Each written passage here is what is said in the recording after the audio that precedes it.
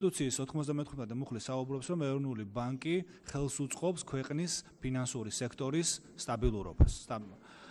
ფინანსური სექტორი განიმარტება ეროვნული ბანკის შესახებ კანონით ეს არის მეორე მუხლი ტერმინთან განმარტებით და საფინანსო სექტორის განმარტება მოცემული როგორც საფინანსო სექტორის წარმომადგენლების ერთობლიობა და საფინანსო სექტორის წარმომადგენლებში მოიაზრება როგორც კომერციული ბანკები, არასაბანკო სადებიუტო დაწესებულებები და ამავდროულად შემოთვალი საკმაოდ დიდია.